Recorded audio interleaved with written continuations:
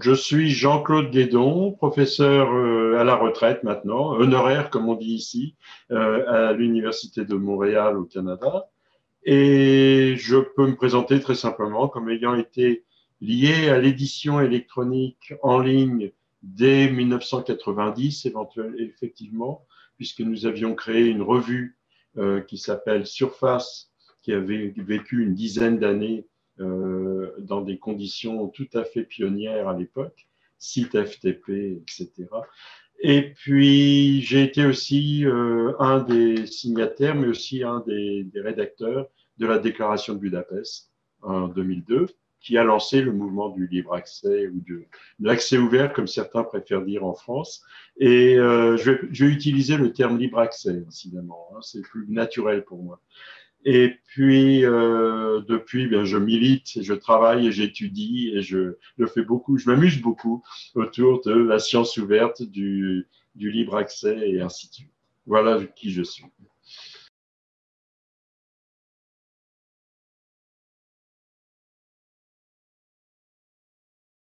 Donc, la diffusion des savoirs, comme euh, on le dit très souvent, a été liée en fait euh, aux moyens disponibles pour la diffusion des savoirs. Et pendant très très longtemps, cette diffusion des savoirs s'est faite par la rencontre de gens dans des forums particuliers qu'on pouvait appeler des académies ou euh, des monastères ou euh, des, universités au Moyen Âge en Europe et, ainsi de suite. C'était du contact oral avec un peu d'écrit pour enregistrer les résultats de ces débats et de ces discussions.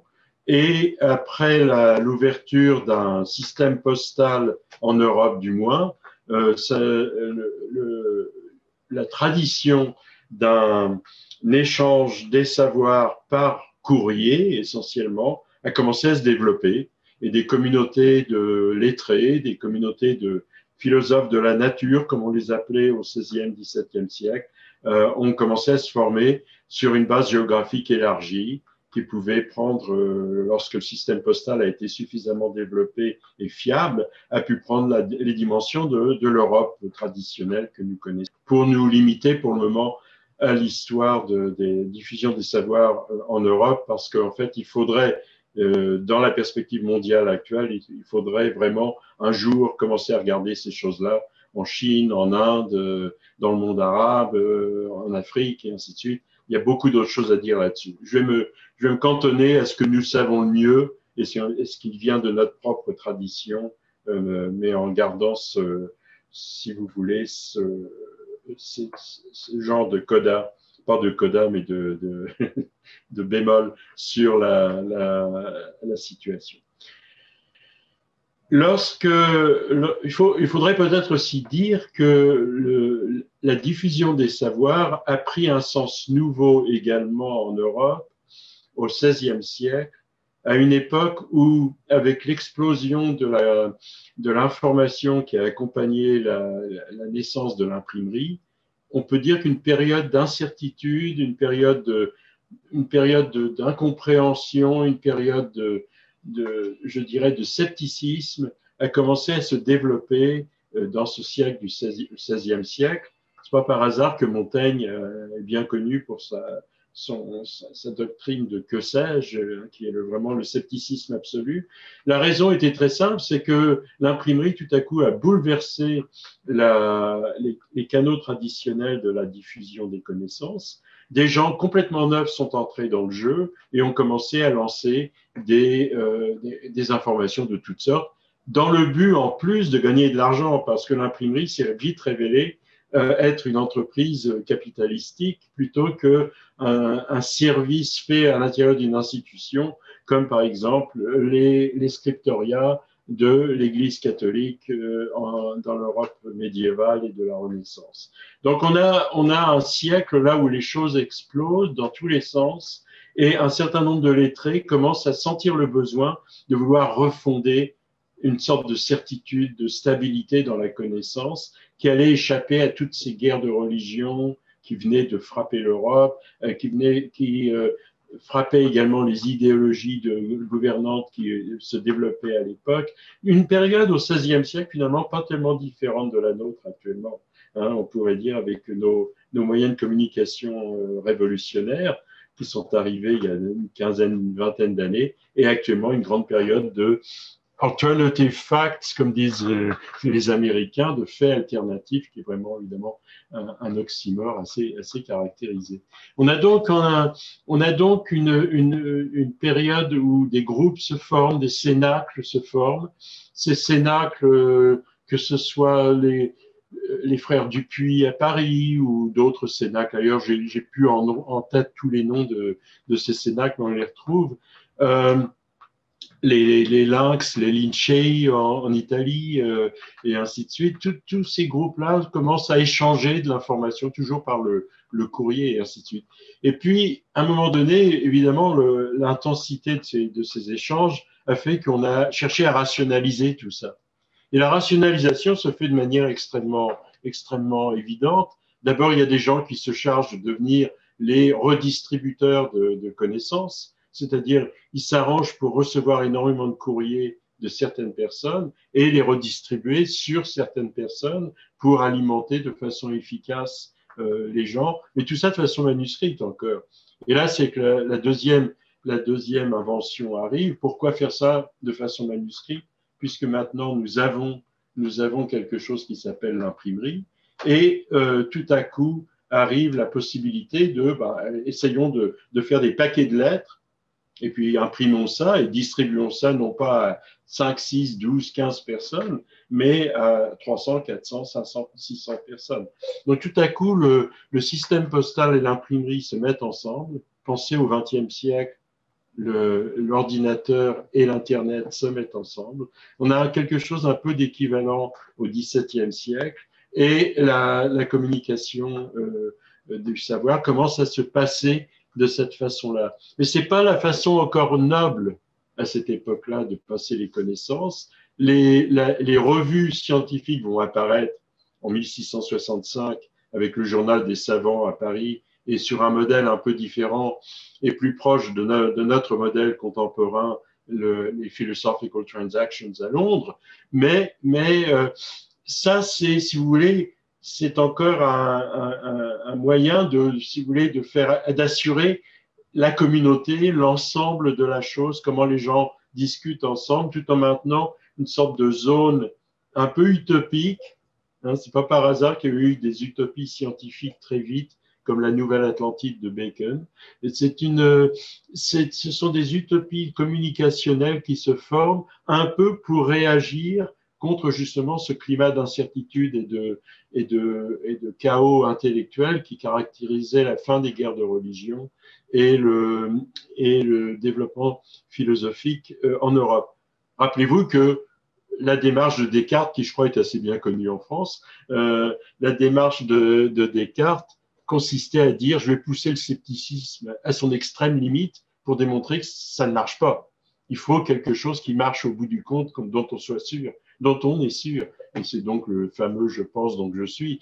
Mais euh, c'est comme une espèce de, fondation extraordinaire de l'ensemble. Donc vous avez à ce moment-là un système de communication qui se met en place, mais la forme noble de communication reste liée aux formes nobles de la communication maintenant imprimée. Hein. Et c'est et on est au XVIIe siècle à ce moment-là, et donc c'est le livre qui domine à ce moment-là. Les revues existent, de grandes revues qui prennent d'ailleurs des allures extrêmement majestueuses apparaissent, euh, par exemple en France avec les mémoires et histoires de l'Académie royale des sciences, euh, mais ce sont des, volumes gros comme ça, euh, c'est in folio, ce sont des magnifiques volumes, ils apparaissent dans leur, avec une, avec un train de sénateurs, on pourrait dire, ils apparaissent deux ans, trois ans après le travail publié, euh, déjà tout fait. Tout, se fait tranquillement, c'est une espèce de, défilé majestueux des grandes productions de l'Académie qui apparaissent dans une forme livresque. Hein, le, les mémoires de l'Académie des sciences, ça n'est pas vraiment une revue, ce sont vraiment des anthologies d'articles, de travaux, mais présentés de façon livresque. Et cette tradition de la domination du, livre va se poursuivre dans toutes les disciplines largement jusque vers 1850. Darwin écrit des livres, il écrit très peu d'articles. Bon, et Darwin est quand même, je crois, un savant de quelque notoriété. Et on a donc euh, cette tradition, en fait, qui se poursuit jusqu'à maintenant avec les sciences humaines et sociales, où la monnaie de référence pour les sciences humaines et sociales continue d'être le livre. Donc, avec l'imprimé, la forme du livre remplace celle du manuscrit en la transformant fortement, bien sûr. Le livre imprimé n'a pas les mêmes caractéristiques qu'un livre de, un livre manuscrit, un codex manuscrit, mais euh, le livre perdure et arrive jusqu'à notre, à notre époque sans, sans grand, euh, grande, je dirais, concurrence. En parallèle, les nouvelles continuent de se propager. Et là, on a deux styles de nouvelles. C'est pour ça que le journal des savants et les Philosophical Transactions sont intéressants. C'est que les deux revues, se, elles se recoupent partiellement. Mais il y en a une qui est vraiment une revue de nouvelles. Ah, ben, je, vous savez, j'ai rencontré un tel, il a fait un travail là-dessus, c'est vraiment intéressant. Ça a l'air de prendre telle et telle forme et ainsi de suite.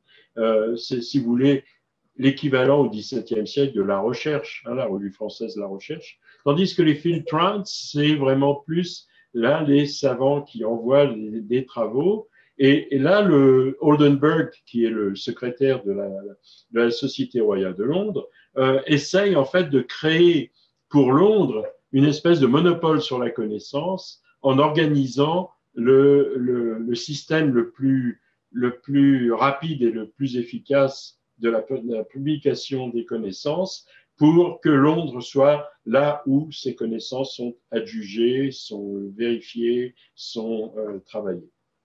Donc, là, les revues se développent tranquillement sous des formes multiples. Mon collègue Chizar à Harvard a étudié ces choses-là pour le 18e et le 19e siècle. Euh, ce sont, ce sont euh, ce sont des, organes qui jouent un rôle important.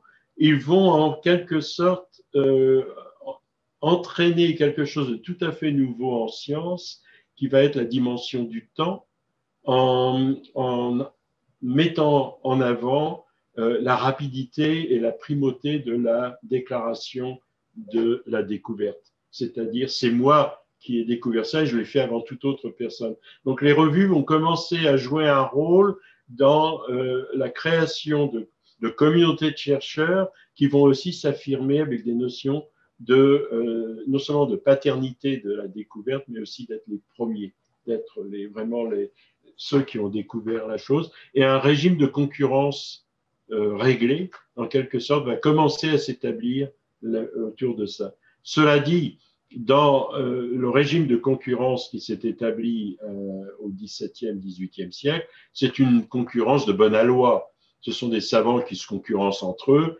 intellectuellement. C'est parfois brutal et violent euh, dans les échanges, mais c'est purement intellectuel. Hein. Quand, quand Priestley et Lavoisier sont en concurrence sur les questions de phlogistique, c'est sur le phlogistique que ça se passe. Ça se passe pas sur une idéologie ou sur un, plan d'affaires d'une compagnie commerciale. C'est quelque chose de purement scientifique, ce qui veut dire que l'utopie scientifique, hein, cette façon de sortir la communauté scientifique du brouhaha de la société environnante et lui permettant, en lui permettant de, de se développer selon ses propres règles, ce que Merton beaucoup plus tard décrira avec les normes, les fameuses normes, eh bien, cette, cette chose-là se perpétue, cette situation-là se perpétue très, très bien euh, tout au cours, tout au long du XVIIe, XVIIIe et même XIXe siècle. En fait, je vais aller plus loin. Je veux dire que grosso modo, cette atmosphère, cette ambiance qui s'est instaurée euh, au, au XVIIe siècle va continuer de se développer jusqu'à la Seconde Guerre mondiale. Donc, on peut avoir une espèce de grande continuité là il faudrait beaucoup nuancer, il faudrait montrer qu'il y a des, des, divergences. Je vous dis encore une fois, Chizar à Harvard démontre la différence entre les revues qui justement se présentent sous la forme in-folio des académies avec les, les, les revues euh, plus, plus modestes des sociétés savantes, des associations. Euh, rappelle avec humour que lorsque les Philosophical Transactions sont finalement devenues les publications officielles de la Société royale de Londres, le format a changé. la revue a grandi physiquement. et, simplement pour dire maintenant, on est une revue sérieuse, on est, on est une revue d'académie comme les Français. Euh, donc, c'est, il y a ce genre de, de nuances qu'il faudrait apporter. Mais fondamentalement, le, le système de livres d'un côté, revue de l'autre, et revue avec peut-être des, des, hiérarchies dans les revues à travers des hiérarchies d'institutions, euh, se met en place et euh, ce système va perdurer jusqu'à la Seconde Guerre mondiale. Maintenant, si, si je continue vers le présent, après la Seconde Guerre mondiale, là, là les choses ont commencé vraiment à, à, bouger, mais à bouger de pas tout à fait de la manière qui est décrite normalement. La première chose à bien souligner, c'est que euh, juste après la, Deuxième Guerre mondiale, la croissance de la recherche scientifique mondiale a explosé. On passe, il y a eu des travaux qui montreraient, s'ils sont confirmés, qu'après la Seconde Guerre mondiale, le taux de croissance des publications passe de l'ordre de 2 à 3% par an à 8% Le premier effet de, cette, et c'est largement en fait euh, d'abord la, la, prise en compte du fait que la Seconde Guerre mondiale a été gagnée par la technologie, donc par la recherche derrière cette technologie et la science n'était pas loin derrière. Et la, la deuxième, euh, la deuxième chose, c'est que la guerre froide commençait et la concurrence entre l'Union soviétique et les États-Unis a lancé euh, évidemment la recherche scientifique dans une course éperdue pour assurer de chaque côté que l'on pouvait répondre à l'adversaire, hein, en quelque sorte. Ce qui nous a mené à quelques situations un petit peu chatouilleuses de temps en temps euh, dans cette période-là. Mais du côté de la science, accélération brutale de la recherche. Ce qui veut dire accélération brutale de, des besoins, des besoins de publication. Ce qui veut dire que les sociétés savantes ont du mal. Elles sont pas prêtes pour faire ça. N'oubliez pas que dans le domaine, dans le modèle de la société savante, la revue fonctionne de manière très simple. Elle est, elle est essentiellement financée par les cotisations des membres de la société savante qui, en échange de leurs cotisations, reçoivent un exemplaire de la revue. Donc, ils ont tous, ces membres de la société savante, ont une idée des travaux de leurs collègues euh, par le truchement de la revue. Mais comme on publie plus d'exemplaires que l'on a de membres dans la société savante, on peut aussi se mettre en, contact avec d'autres sociétés savantes et on peut, par exemple, échanger leur revue, un exemplaire, contre un exemplaire de notre revue et ainsi, créer une bibliothèque de sociétés savantes. Si bien qu'avec 200, euh, 300 exemplaires supplémentaires, on peut se doter de 200 ou 300 exemplaires de, de revues étrangères.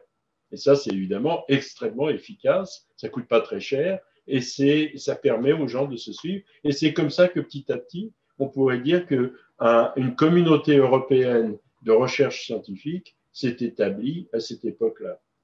Ces revues, au passage, quand elles étaient des revues de sociétés savantes, n'avaient pas une obsession avec la possession de leurs articles.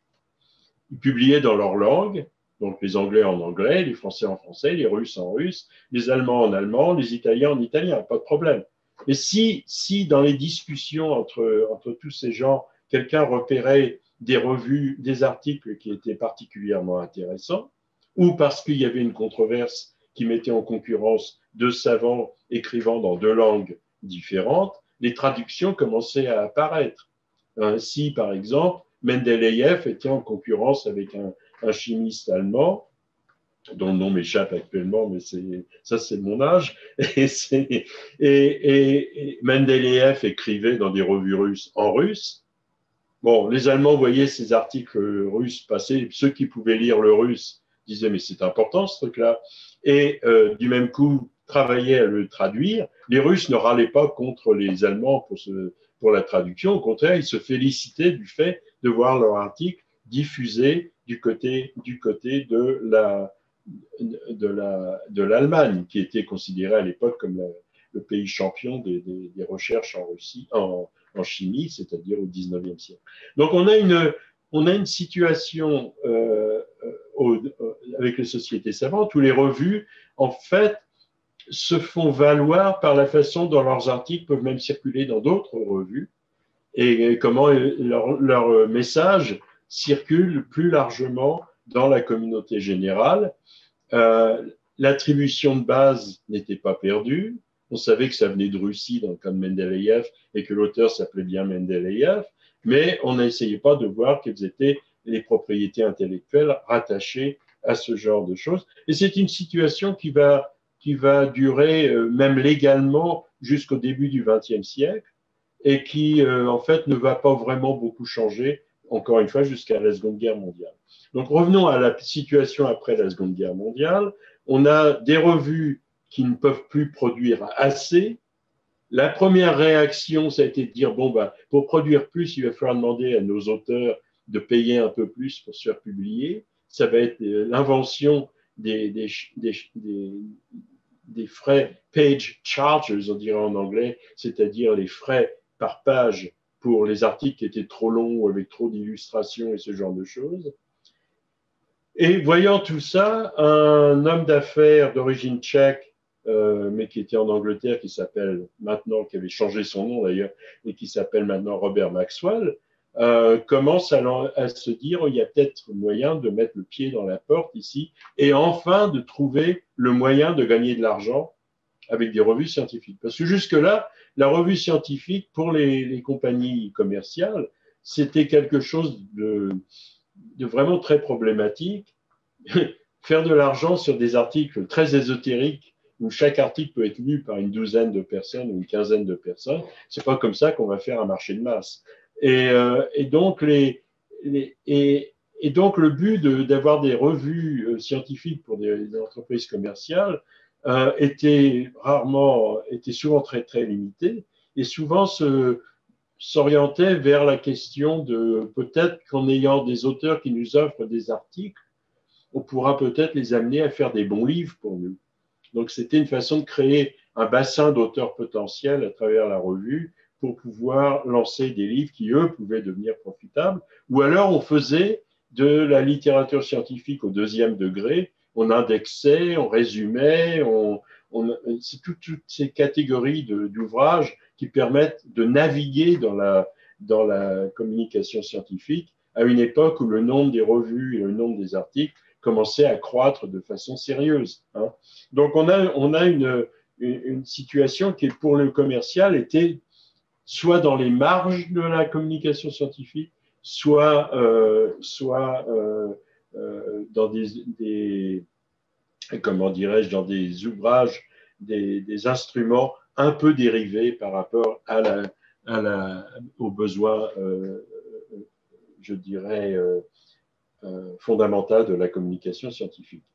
Donc arrive notre Maxwell, qui se dit il y a peut-être moyen là de faire quelque chose. En plus, c'est la fin de la guerre. Il y a des, compagnies allemandes qui qui étaient récupérables. Il y avait de Springer avait plein de trucs à vendre parce qu'il n'y avait, plus rien en Allemagne à ce moment-là. On est en 48 par là. Euh, Maxwell avait été membre des, groupes des groupes euh, anglais qui avaient visité l'Allemagne après la guerre pour voir ce que les Anglais pouvaient récupérer de cette Allemagne défaite.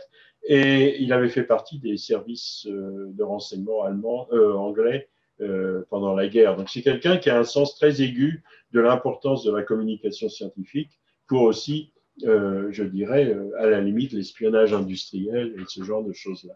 Donc il commence à regarder la situation et il se dit, ces compagnies, ces associations n'ont plus les moyens d'assurer ce genre de, travail, ils ne peuvent plus le faire très bien. Euh, ces associations, par, par euh, essence, sont nationales. Hein, ces associations de la Société française de chimie ou les choses comme ça, c'est vraiment national. Bon, ben, on va les déborder euh, en faisant quelque chose d'international. Et gardez bien en tête ce terme international qui va être valorisé par la suite. Hein, c'est ça qui est important. Maintenant, dans certains pays du monde, on parle des revues internationales et on, les, on, minimise les revues dites nationales, mais il faut voir l'origine de tout ça. Et puis, et puis ces revues internationales, elles sont elles, euh, on va pouvoir euh, les, on va pouvoir les, attirer les gens parce que nous, on ne va pas demander des charges pour les pages supplémentaires. On va simplement augmenter le prix des abonnements et on va changer, on va changer l'orientation plutôt que d'essayer de, de vendre des revues à des individus qui cherchaient à avoir l'information dont ils ont besoin pour faire leur travail. On va vendre ça à des bibliothèques et les bibliothèques se chargeront, elles, de, vendre, de montrer ça à des individus. Donc, les bibliothèques, elles ont de l'argent, hein, on peut leur demander. On peut passer un ordre de grandeur supplémentaire dans le coût de la revue. Et puis, euh, on peut, de toute façon, ça permet de produire moins de revues, d'exemplaires. Il y a moins de bibliothèques que d'individus. Ça permet, ça permet de, diminuer les, frais, les, d'envoi de, ces revues un peu partout dans le monde. Euh, bref, il y a tout avantage à faire ça. Et si on enlève les, page charges, euh, eh bien, on va, on va simplement, euh, on va simplement attirer beaucoup d'auteurs, parce qu'il y a beaucoup d'auteurs qui avaient du mal à trouver de l'argent pour se faire publier. Et, et donc, les, revues, ces revues commencent à, à se développer, et leur, leur point d'achoppement au début, c'est d'avoir des comités éditoriaux qu'elles ont du mal à, recruter parce que les gens sont habitués aux hiérarchies habituelles et lancer une nouvelle revue, c'est toujours risqué sur le plan de la réputation et le plan de la, la visibilité. Mais bon, avec un peu d'argent et un peu de, un peu de, disons, engraissant un petit peu toute la mécanique du système, on arrive à recruter des savants de bonne qualité qui sont prêts à jouer le jeu et qui sont d'ailleurs au début sont réellement dans l'esprit de revue internationale.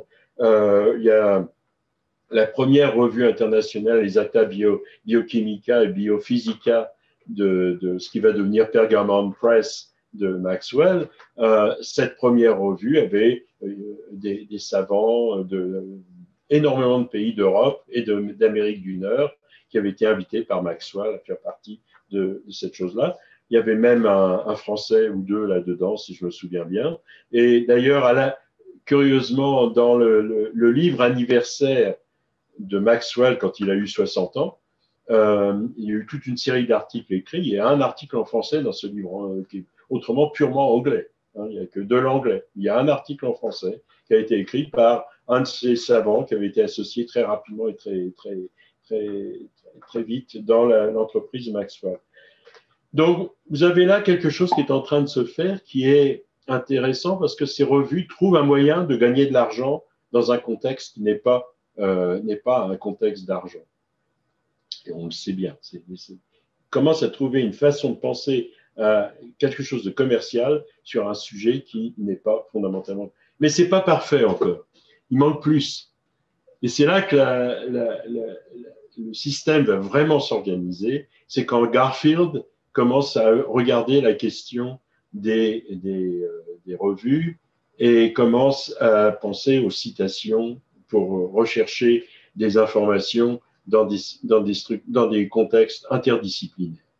la, la, base de Garfield, en fait, c'était euh, comment trouver des informations scientifiques quand euh, plein de domaines actuels sont en fait des domaines interdisciplinaires. On pense à la, biologie moléculaire, à la, biochimie, euh, et ainsi de suite. On a énormément de nouveaux domaines qui apparaissent et les bibliographies classiques sont disciplinaires.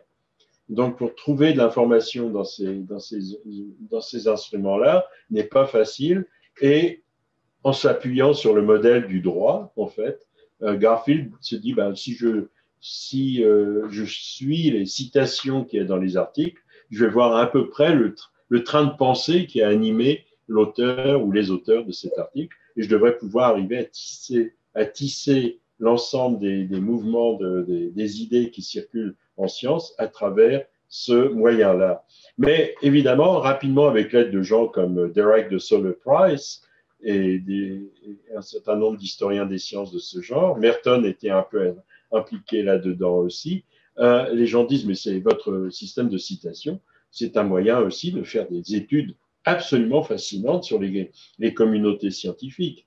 On voit très rapidement euh, euh Henry Small, qui était d'ailleurs un de mes collègues à l'université du Wisconsin quand j'ai fait mon doctorat.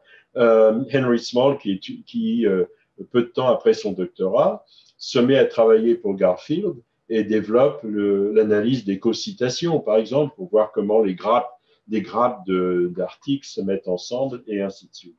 Donc, on a, on a euh, ce travail qui se fait par les sociologues des sciences, les historiens des sciences autour de l'outil de Garfield.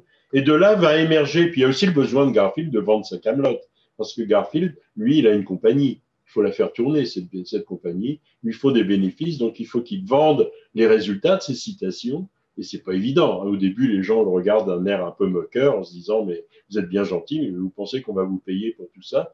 Donc au début, il y a des subventions, il y a des, des coups de main du gouvernement pour lancer le système.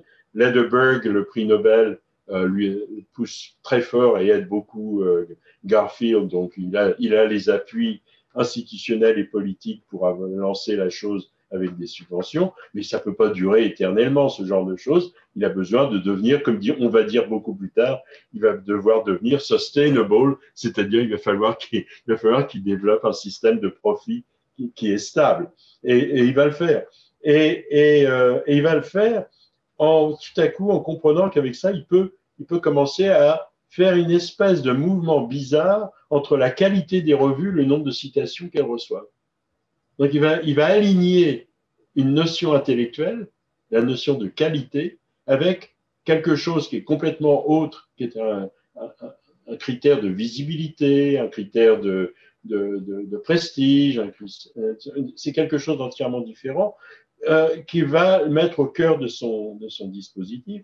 Et le dispositif va marcher d'autant mieux qu'il va être en mesure, il va être en mesure de le quantifier et donc de donner des classements, des classements de revues, en disant, bon, ben voilà. Euh, alors, un classement de revues qui consisterait à dire, vous savez, la, revue de l'Académie des sciences de Saint-Pétersbourg est un petit peu plus citée que la revue de l'Académie des sciences de Paris, ou un peu moins. Ça ferait ni chaud ni froid, ni à l'Académie de Saint-Pétersbourg, ni à l'Académie de de comment dirais-je de Paris parce que toutes les deux savent qu'elles existent, elles sont reconnues, que les gens les liront de toutes les manières, que les gens publieront là-dedans sans faire vraiment attention à ce genre de classement et euh, ils ont des bonnes réputations. On s'arrête là. C'est une espèce de, on appartient à une espèce de club un peu élitiste de bonnes revues, mais ça s'arrête là. Oui, mais quand on est dans le commerce, on pense à autre chose. On pense à des parts de marché. Là. Et là, on travaille sur la marge. Et les, gens qui sont intéressés là-dedans, c'est les bibliothécaires, parce que les bibliothécaires, eux, ils ont des budgets limités. Donc, il faut arriver à placer les revues à l'intérieur des budgets, en quelque sorte. Et donc là, les classements deviennent des moyens d'aligner, d'une part, tout le travail de mise en marché de la revue pour les bibliothécaires. On a trouvé maintenant le moyen de le faire. On a inversé, comme l'a fait très subtilement, et encore que c'est une fraude, ce truc-là, à la limite, euh, la loi de Bradford, euh, et, puis on a, on a fait une espèce de, de règle universelle de distribution des revues par discipline. Euh, ça, c'est une blague, ce truc-là, mais tout le monde a avalé, tout le monde a avalé l'hameçon avec euh, l'appât sans, aucun, sans aucune réflexion. Et puis, on a, on a commencé à aligner donc ce, ces choix de revues achetés par les, les bibliothèques avec la notion de qualité de revue qui était derrière ça. Et quand ce genre de système avec le JCR, le, Journal Citation euh, Report, a commencé à se, développer, on se situe maintenant donc dans les années 80, 80 début 80, euh, on commence à parler beaucoup de ça. Euh, on a en même temps, n'oubliez pas avec Garfield, quelque chose qui, qui, devient un instrument extrêmement important pour les Américains, parce que comme on fait des classements de revues bah, peut-être qu'on peut pousser quelque chose pour que les revues en anglais soient vraiment en avant, et en particulier les revues américaines, euh, pour un peu marginaliser les revues soviétiques.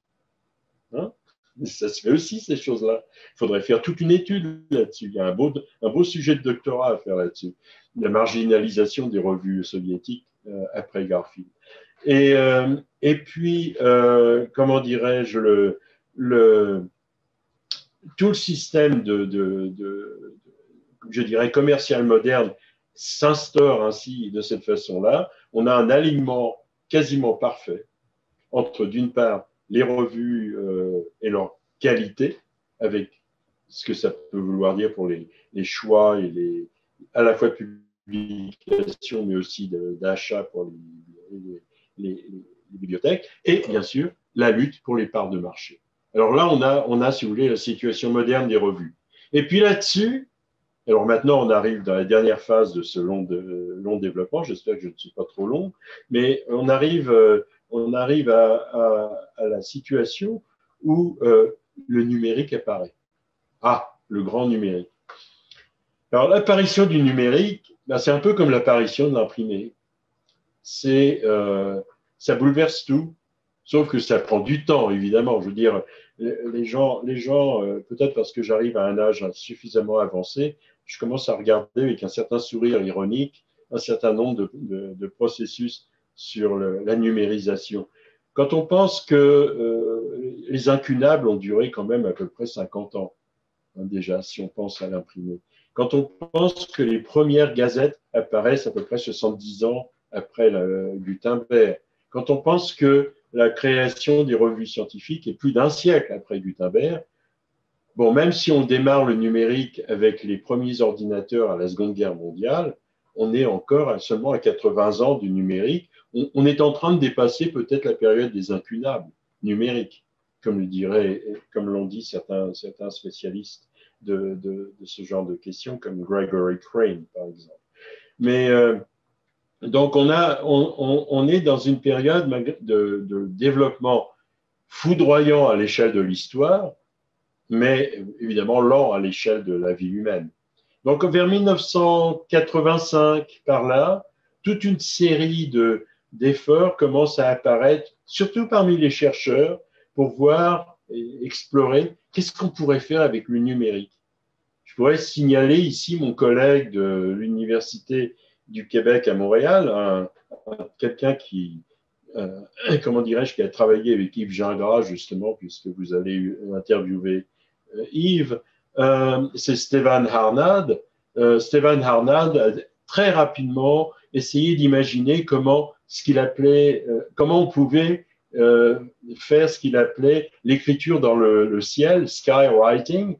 C'était dans les réseaux naissants, commencer à voir l'Internet apparaître, et comment mettre de, de, du numérique là-dedans pour que les gens n'importe où sur la planète puissent lire ce que j'écris quand je l'écris. Donc, ce genre de, rêve d'une espèce d'utopie, alors maintenant dans les nuages, ce n'est pas par hasard, incidemment, que maintenant on parle de cloud, euh, mais euh, euh, cette sorte d'utopie dans les nuages commence à apparaître chez les chercheurs? Et Stéphane avait lancé une revue tout à fait innovatrice par beaucoup de côtés, numérique, sur le, sur la psychologie, la psychologie cognitive, à la fin des années 80 et 89 euh, par là. Ma propre revue euh, en 91, mais qui avait été qui avait été discutée pendant au moins 3-4 ans avant dans, dans mon cercle, euh, était beaucoup plus traditionnelle en fait. C'était, si vous voulez, entre ma, ma, ma revue, c'était adapter la technologie au modèle dominant de la revue, alors que Stéphane, je crois plus, avec plus de vision, voulait adapter la revue aux nouvelles technologies et faire tout ce qu'on pouvait faire avec ce que les sociologues des technologies appelleraient les affordances, les affordances de la technologie.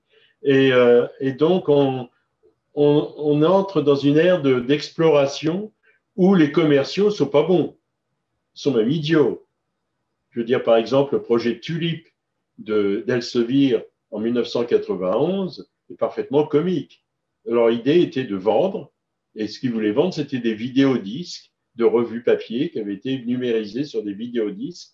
Et comme les vidéodisques demandaient une bande passante importante, ils pouvaient limiter, pensait-il, la, diffusion de ces revues euh, à l'intérieur d'un campus universitaire parce qu'il fallait une liaison Ethernet.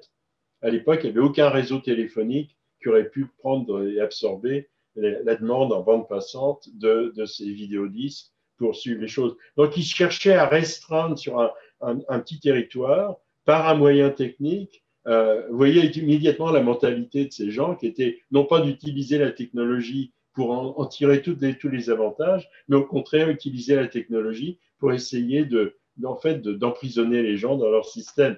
Il y a un système qui était complètement, idiot, à tel point qu'au moins une université qui avait décidé d'essayer de jouer avec ça au début, s'était vite retirée, c'était Princeton. Princeton avait vite dit, mais c'est de la bêtise, ce truc-là. Donc, euh, euh, on voit que les, les, commerciaux, en fait, ont peur. Ils ont très peur parce que qu'est-ce qui va se passer si ça devient numérique et on n'est pas capable de maintenir notre, notre situation là-dessus? Et c'est là qu'ils ont fait quelque chose d'absolument étonnant parce que ils ont, en fait, ils, ont sorti une, manière d'aligner le commercial avec l'intellectuel en parlant de deux manières complètement opposées en même temps. D'une part, avec les classements de revues, on valorise chaque revue individuelle, on dit la mienne est meilleure que la vôtre. Donc ça, c'est un point de vue. Puis de l'autre côté, quand c'est du numérique et qu'on le fait bien, on a une plateforme et on vend des bouquets. Mais dans le bouquet, on ne fait plus attention à ce qu'il y a dans le bouquet. On vend tout le bouquet. Donc, dans le même mouvement, les, euh, bibliothèques, les grands commerciaux commencent à apprendre comment, développer, comment développer euh, le, système commercial qui pourrait s'adapter au numérique. C'est ça leur, problème. Comment adapter notre plan d'affaires au numérique? Ou comment utiliser le numérique pour renforcer notre plan d'affaires Ce serait deux façons, deux façons d'exprimer la chose. Pendant ce temps-là, les utopistes continuaient. Alors, Stéphane en était, j'en étais, etc. Et ça nous mène tout droit à Budapest en 2001, décembre 2001, la réunion, et puis l'initiative de Budapest qui est publiée en février 2002 et qui tout à coup dit au monde entier, avec l'aide de la fondation de, de euh, qui finançait tout ça, dit au monde entier, écoutez, avec le numérique, on a les moyens en fait de mettre toutes les publications scientifiques en libre accès pour tout le monde. Ça coûterait moins cher que le système actuel et ça serait recevable par tout le monde. D'où une espèce de, bataille gigantesque qui commence à ce moment-là entre euh, ce groupe d'utopistes chercheurs, il y en a un peu partout.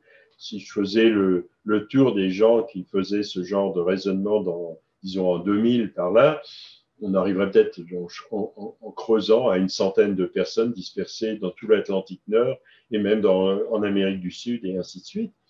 Et, euh, et euh, on a évidemment les, les, grands commerciaux qui ont une peur bleue de voir le libre accès euh, faire, euh, disons, euh, vraiment brutaliser le, leur système de, commerce. Pendant ce temps-là, il s'était passé quelque chose avec la phase commerciale, de commercialisation des revues dont je n'ai pas encore parlé et qui affectait énormément les bibliothèques, c'est que le coût des bibliothèques, pas le coût, le prix, le coût n'a pas tellement changé. Non, en fait, pour les, pour les commerciaux, le coût de production des, des revues avait plutôt baissé. Mais le prix des bibliothèques, lui, avait, explosé. Et, et donc, quand le libre accès est né, les bibliothécaires ont vu dans le libre accès quelque chose qui en fait a un peu dévoyé, je dirais, le débat, parce qu'ils ont vu dans le libre accès un levier possible pour faire pression sur les grands éditeurs. Alors du même coup, ce qui s'est passé, c'est que la lutte s'est en quelque sorte euh, organisée autour de grands éditeurs commerciaux et bibliothèques, elles-mêmes d'ailleurs divisées. Il y en avait qui, disons, euh, sacrifiaient au, syndrome de Stockholm et essayer de, travailler avec les, grands commerciaux, d'autres qui résistaient, et puis euh, une tentative de voir comment utiliser le libre accès pour limiter la montée des prix. Euh. Mais c'était pas ça l'enjeu du libre accès, sauf qu'à l'époque, personne ne voyait vraiment encore bien ce déploiement du numérique qui va d'ailleurs se manifester maintenant avec la science ouverte. Le passage du libre accès à la science ouverte, à mon avis, c'est la transposition du, euh, du, numérique dans la science. Le libre accès, c'est la première formulation. La science ouverte, c'est la, la, formulation plus complète, plus qui a mieux compris ce que le numérique est en train de faire au système de communication scientifique. Et donc, le, le, le, le, débat démarre, je dirais, sur des bases sur des bases qui sont euh, en fait euh, un peu, un peu euh, comme mal, mal orientée, comme, comme construite de, mauvaise manière. Alors on va arriver à cette bataille. En plus, à, Budapest, il faudrait dire ça, il y avait eu une bataille entre les gens qui voulaient simplement créer des revues en libre accès, Michael Eisen et la plupart des gens d'ailleurs à, Budapest. Moi, j'étais plutôt de ce bord-là aussi à Budapest parce que je voyais pas tellement l'alternative. Et puis il y avait Stéphane, Stéphane Arnad qui défendait euh, bec et ongle et heureusement, heureusement, a défendu euh, l'auto-archivage des articles euh, qui amenait, alors du côté des bibliothèques, au dépôt institutionnel. Sauf que le dépôt institutionnel a été euh, une espèce d'immense, euh, comment pourrais-je dire, euh, d'immense chaos. Chaque institution faisait son dépôt institutionnel à sa manière et il n'y avait pas de moyen vraiment pratique d'aller trouver en un seul endroit l'ensemble de tous les dépôts institutionnels, donc ce n'était pas particulièrement efficace.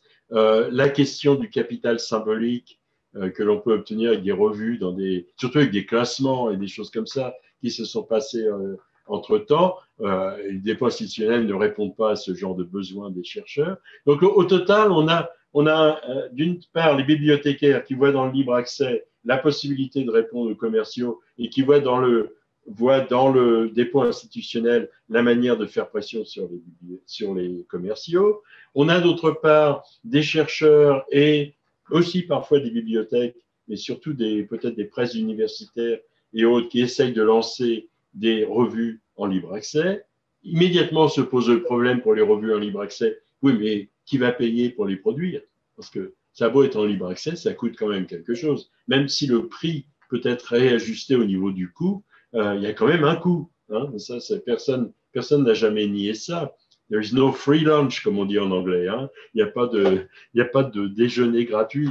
Et, euh, donc, euh, le, comment dirais-je, le, débat s'engage sur des, bases complètement, folles parce que ce débat, en quelque sorte, maintient au cœur, et ça va être un peu ma, ma conclusion de la chose, euh, ça maintient au cœur du débat la revue savante et son plan d'affaires et la bataille entre bibliothécaires et euh, commerciaux.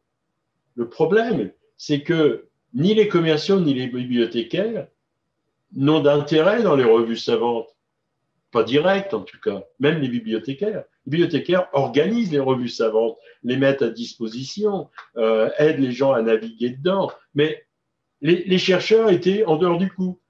Et on avait donc une espèce de, de, bataille entre bibliothécaires et commerciaux qui en fait ne répondait jamais aux besoins réels de ce qui était en train de se faire avec le numérique et la communication scientifique, qui était comment optimiser le système de communication entre chercheurs pour euh, obtenir les meilleures réponses possibles, les plus fiables possibles, les plus les plus, oui, les plus fiables possibles de façon à ce que l'on puisse faire de, la recherche de manière, intelligente.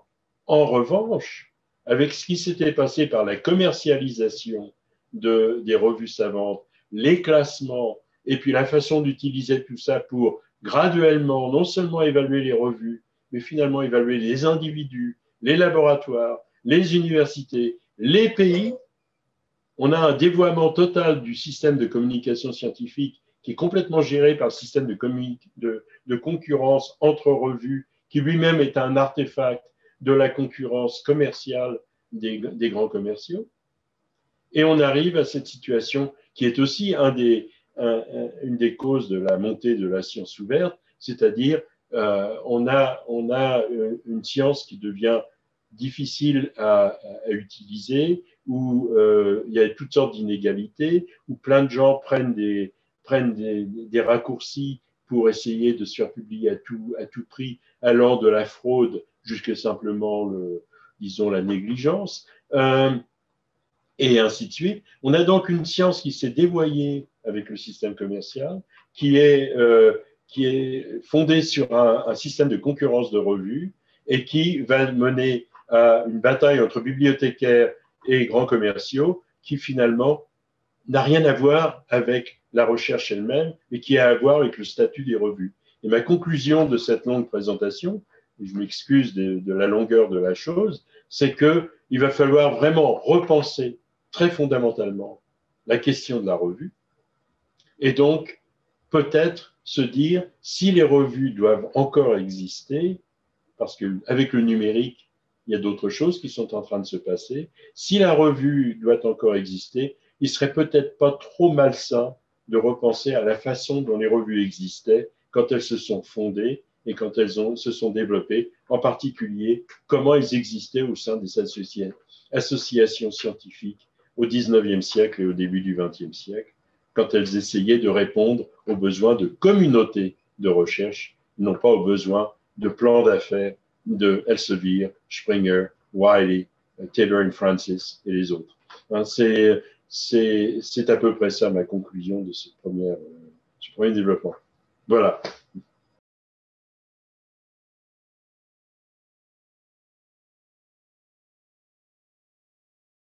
Reprenons rapidement euh, la notion de, revue telle qu'elle apparaît euh, avec l'imprimerie. Et même remontons plus avant à la question des gazettes, de nouvelles politiques. Et puis reprenons encore plus avant le rôle de l'imprimerie à ses tout débuts. Le rôle de l'imprimerie, c'est une photocopieuse en fait. Hein, c'est l'idée de mécaniquement reproduire des manuscrits au début. Quand on regarde les tout premiers incunables, où les gens essayaient même de faire des enluminures dans, le, dans les, livres imprimés, et, euh, et on a des, exemples de, livres imprimés où l'enluminure n'a jamais été faite parce qu'il n'y avait pas les ressources pour ajouter à la main l'enluminure à, la, chose. On se rend compte qu'au début, l'imprimerie s'installe dans la continuité parfaite du scriptorium. Il y aurait, une thèse fabuleuse à faire sur la, décadence du scriptoria. Ça a dû être fantastique. Hein. Il faudrait retourner voir Tritemius et ces gens-là. Mais, euh, il y aurait vraiment un, autre doctorat à faire là-dessus sur la, la, décadence des, des, des scriptoria. Donc, quand on utilise l'imprimerie dans cet esprit-là, et qu'on va chercher les meilleurs manuscrits pour essayer de, pour essayer de, produire du, de l'Aristote, du Platon ou de, la médecine ou, de la religion ou je ne sais trop quoi, euh, l'imprimerie est un instrument de, euh, de, soutien pour faire perdurer, pour faire euh, vivre le meilleur du passé. Hmm? Donc, par définition, dans ses premiers mouvements d'incunable, l'imprimerie est une intensification du travail du scriptorium qui est un travail de préservation, de conservation du passé et de maintien de la fidélité de la ligne de, transmission du, document euh, d'Aristote jusqu'à la Renaissance, par exemple. Est-ce qu'on a bien le bon document d'Aristote? Est-ce qu'on a bien la Bible? Hein, Parce que ça a, ça a une certaine importance pour la religion aussi, ce genre de truc-là. Et donc, ça, c'est ça l'imprimerie à ce moment-là. Et puis tout à coup, il y a des gens qui découvrent qu'avec l'imprimerie, on peut faire des choses très rapidement. Une petite page pour annoncer un baptême ou des choses comme ça. Et, puis, euh, peut-être mettre un placard quelque part sur, dans la ville. Et puis, bon, il y en a qui ont même fait de, pas mal de boucans avec ça, dans le genre Luther. Hmm. Et puis, euh, et puis euh, il y a quelqu'un un jour qui se dit, mais tous ces placards et tout ça, on pourrait peut-être les réunir ensemble. Et puis lancer ça, ce serait les nouvelles. Mais alors là, il y a une inversion du rôle de l'imprimerie, qui est que instrument d'intensification des moyens de préservation de communication et de fidélisation, fidélité, si je puis dire, à la tradition de l'imprimerie, se trouve inversé, se trouve inversé par l'invention de la nouvelle, de la gazette, où on va porter le papier, là, devient, et c'est quasiment un scandale à l'époque, le papier devient, imaginez-vous, quelque chose de jetable parce que la nouvelle meurt. La nouvelle, deux jours après, n'est plus une nouvelle. Donc, tout à coup, tout s'inverse. Hein? Et la revue scientifique, son, son génie, c'est en fait de traiter la connaissance non plus comme une sorte de récupération de la connaissance qui nous a été léguée par le passé, mais devient un instrument de production de nouveautés. On devient une gazette une gazette des explorateurs de la connaissance. Donc quand Bacon, dans, son, dans sa nouvelle Atlantide, parle des marchands de lumière, des marchands de je ne sais trop quoi, j'ai oublié toutes les catégories de gens qu'il envoie de la maison de, Salomon à Ben Salem, euh, puisqu'il y avait un Ben Salem qui devait être le fils de Jérusalem. Euh, c'est euh, cette utopie de, de, Bacon nous montre bien qu'il y a une espèce de, je dirais, d'application, si on utilise le terme mathématique d'application, d'un ensemble d'exploration géographique sur un ensemble d'exploration intellectuelle. Et donc le savant devient un explorateur. le savant rapporte des nouvelles et rapporte des, des, des, euh, des, descriptions de ses voyages intellectuels dans un monde, le monde de l'univers. Il y a autre chose qui se passe à ce moment-là, qui était également imprévu. Hein, donc, première grande inversion de la stabilité de la, la continuité vers, envers le passé vers la création la création euh, d'une dynamique d'exploration. Intéressant en soi. Donc les, Européens de casaniers intellectuels deviennent des explorateurs intellectuels, en tout cas certains d'entre eux. On pourrait dire ça comme ça. La, la, chose se complique quand tout à coup euh, ceci est également superposé sur un autre modèle qui est celui de la discussion dans un cénacle. mais c'est une discussion qui se délocalise grâce à l'écriture dans ce cas-là et au papier, mais aussi à la multiplication des exemplaires de l'imprimerie. Donc, par le truchement à la fois de l'écriture et de l'imprimerie, le cénacle des, frères Dupuis, des Lincei et même des, collèges invisibles autour de la avant la Société royale de Londres, tous ces, petits cénacles réels où les gens se rencontraient dans une salle et discutaient, tout à coup, cette chose-là se manifeste à une échelle continentale, en fait, grâce à la poste. Ça, c'est vraiment le système postal qui le permet. Et donc, on a, et au colportage. Et donc, on a le, on a, à, ce moment-là, on peut dire un, forum qui se met en place et une dynamique de nouveauté euh, regardez les nouvelles que j'ai apportées. J'ai une nouvelle théorie là-dessus. Regardez comment j'analyse les choses. Et quand vous regardez les premiers, les premiers volumes de la Société royale, des Trans ou du Journal des savants, il y a des choses extrêmement drôles dans ces numéros de, des premières années. J'ai un ou deux volumes à la maison. Il y a, le dessin d'un bon, bonhomme qui essaye de voler. Euh, il y a des choses, il y a des, beaucoup de monstruosité parce qu'on va repérer toutes les choses bizarres. Au lieu de trouver la régularité de la nature, on s'attache d'abord aux irrégularités, mais en même temps, par l'irrégularité, on ressouligne sans s'en rendre compte le besoin de régularité de l'autre côté. Et, euh, et, tout, et tout se met en route de cette façon-là, qui crée une société qui va jouer sur la, la stabilité de sa dynamique plutôt que la stabilité tout court. Hmm? Donc ça, c'est l'imprimerie qui se met en place et qui crée ce genre d'effet-là.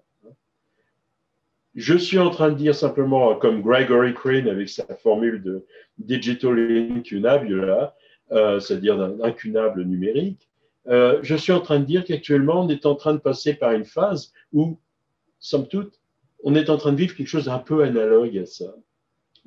Et il ne faut pas avoir peur d'imaginer que des choses qui nous semblent très, très stables, parce que légué par le passé, comme une revue, par exemple, euh, c'est peut-être en fait quelque chose qui va se révéler extrêmement instable.